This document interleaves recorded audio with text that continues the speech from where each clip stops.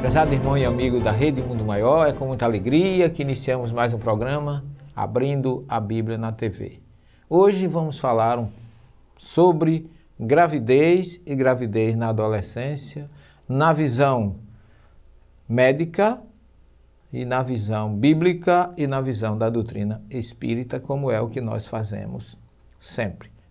Lembrando a importância da vida, a importância de se preservar sempre a vida, porque o que vem a ser a gravidez. A gravidez, tanto no, no, no ser humano como no animal, é fruto sempre da união, da fecundação do espermatozoide, que é a célula reprodutora masculina, com o óvulo, que é a célula reprodutora feminina. Curiosamente, depois que esse óvulo é fecundado pelo espermatozoide, a célula passa a chamar ovo ou zigoto. E ela começa a se multiplicar rapidamente, vai para diversas fases, cientificamente chama-se blástula, gástrula, mórula. Ela se divide em duas, depois em quatro, depois em oito, depois em 16, 32 e assim sucessivamente. Só que, meus irmãos, meus queridos telespectadores, a célula, depois dela fecundada na forma de ovo, ela não tem diferença da célula do animal humano ou o animal não humano. Todas as células dos animais, todos os ovos, vamos chamar ovo zigoto do animal, é tudo igual. O que é que muda? A codificação genética, o milagre da vida que está por trás de tudo isso, que é Deus, na sua infinita misericórdia e sabedoria, que cada célula daquela, cada situação daquela já está geneticamente codificado para dar como fruto final do seu desenvolvimento cabeça, tronco e membros em todos os animais. Isso é o milagre da vida. Depois que essa gravidez se processa, ela, de acordo com a espécie, ela dura mais ou menos tempo. No ser humano, ela dura exatamente nove meses, que são em torno de 36, 37, 38 semanas. De forma que, depois disso, quando a célula, quando o ovo, o ovo é fecundado, que ela se fixa no útero materno, isso se chama nidação.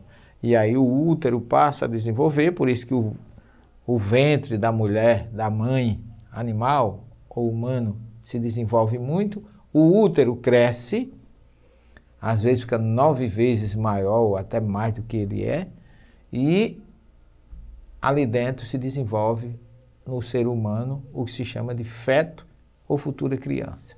Completado esses nove meses, aí ocorre o que se chama a expulsão natural do feto para uma nova vida, que se chama parto, nascimento ou dar à luz, como normalmente se diz com relação ao ser humano, porque realmente é a mãe dando vida, sendo o instrumento dessa vida para o filho, ela está dando realmente a luz, a vida, a existência.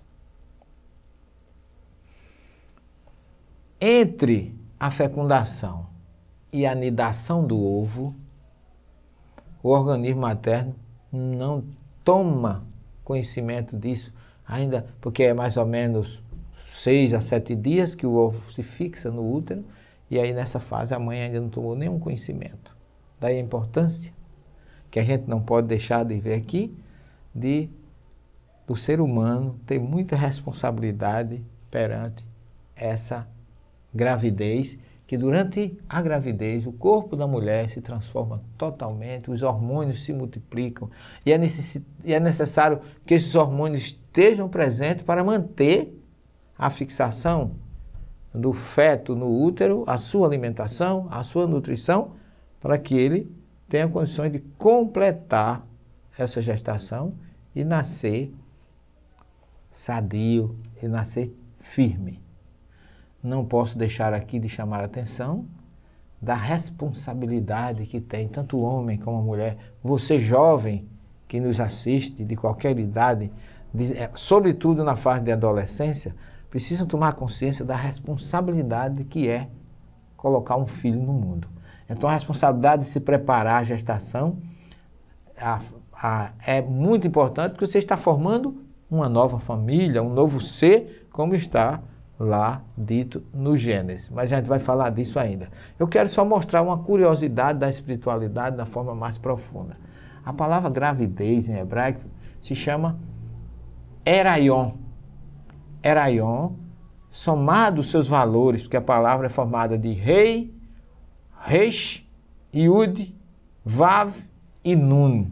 Se você somar os valores dessas letras, 5 para o rei, resh 200, 10 o Yud, 6 o, o Vav e Nun 50, você vai ter exatamente, meu caro telespectador, 271, que representa os 271 dias de gestação e ao tempo de nove meses, que você tem em torno de 36 a 38 semanas, que forma exatamente o período do nascimento do feto.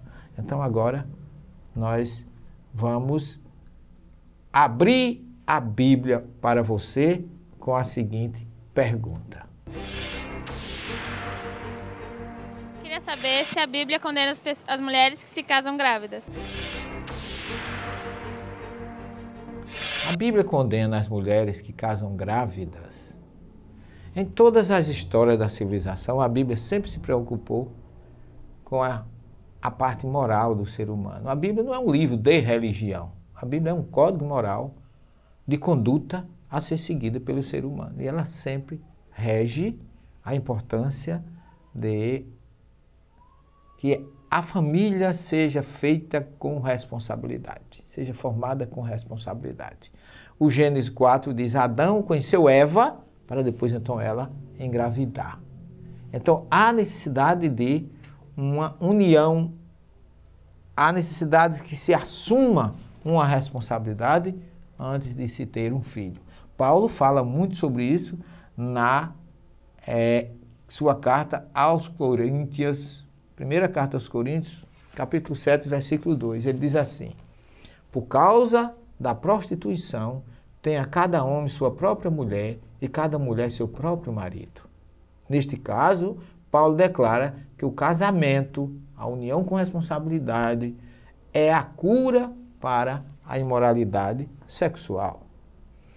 Ele está dizendo que as pessoas precisam ter uma companheira. O homem, como está em Gênesis 2, lá no início, deixa a mulher sua família, deixa o homem a sua família, se unirão, os dois serão uma só carne. Então há um, tem que haver um preparo. O sexo antes do casamento, a Bíblia não aconselha. É lógico que nós vivemos numa época moderna que tudo isso mudou, mas como diz Jesus, por causa da dureza dos nossos corações.